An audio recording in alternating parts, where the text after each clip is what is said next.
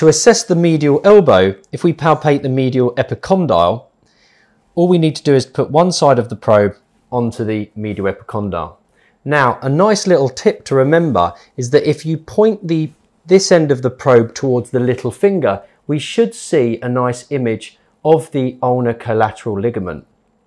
You can also see the joint underneath the ligament and we can do a valgus stress test to assess it in a dynamic uh, stability. So as we apply some valgus stress, there should be very, very minimal opening up of that joint as we can see here.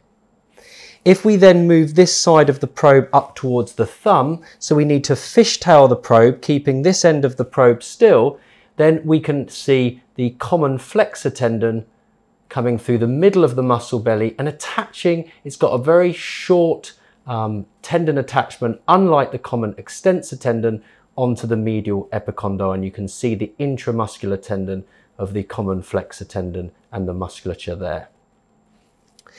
To assess the ulnar nerve, the most simplest way of doing it is to find the medial epicondyle again and the olecranon and put the probe across the two. And what you can see on the left-hand side is the epicondyle with the ligament over the top, and you can also see the ulnar nerve. On the right-hand side, you can see the olecranon and the joint. To assess the ulnar nerve, we can do this dynamically. We can just move the elbow, and it's best for the operator to move uh, the patient and you can just move them into flexion and extension, particularly as you move them into flexion.